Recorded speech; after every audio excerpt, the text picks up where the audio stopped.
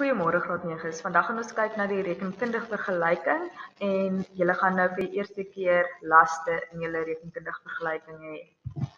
As gaan kyk na die transaksie koop handelsvoorraad op krediet. Is daar twee rekeninge betrokke, handelsvoorraad en krediteure kontrole. Krediteure kontrole omdat ons die handelsvoorraad op krediet gekoop het. Handelsvoorraad is 'n bate vir my besigheid. Toe ek dit gekoop het, het my handelsvoorraad meer geraak en omdat dit 'n bate is, raak dit meer aan die debietkant. Krediteure kontrole is my besigheid 'n las. My krediteure kontrole het meer geraak omdat ek goedere op krediet gekoop het, so ek skuld meer en laste raak meer aan die kredietkant. So jy sal sien die rekening gedebiteer is dan nou handelsvoorraad, rekening gekrediteer, krediteure kontrole. My bates gaan ek sê plus 5400 want handelsvoorraad vermeerder en by laste gaan ek sê plus 5400 krediteure vermeerder. Nou die rekenkundige vergelyking sê vir ons bates is gelyk aan eienaarsbelang plus laste. Nou as jy gaan kyk na hierdie vergelyking, moet dit vir jou sin maak. Jy sal sien by bates het ek plus 5400, so met ander woorde dit moet dan gelyk wees aan die eienaarsbelang plus laste. By eienaarsbelang is daar glad nie 'n bedrag nie en by laste 5400. So 5400 is mos nou gelyk aan 5400. As gaan kyk na die tweede transaksie, sê ek ons betaal ons rekening by C&M handelaars. So die twee rekeninge daar gaan wees bank en krediteure kontrole. Nou bank is 'n bate en toe ek my rekening betaal het, het hy minder geraak en omdat dit 'n bate is, raak dit minder aan die kredietkant. Krediteure kontrole is 'n las.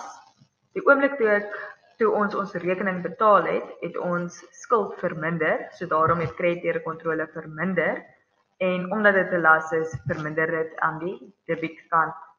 So my rekening gedebiteer is dan nou krediteure kontrole, rekening gekrediteer bank. By bates gaan daar dan nou staan minus 2300 kontant verminder en by laste sal daar ook staan minus 2300 want my krediteure verminder. As gaan kyk na die derde transaksie, koop skryfbehoeftes op krediet. So my twee rekeninge daar gaan wees krediteure kontrole en skryfbehoeftes. Krediteure kontrole is 'n las.